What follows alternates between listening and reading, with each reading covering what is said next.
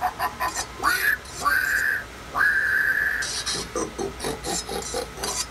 little piggy went to market.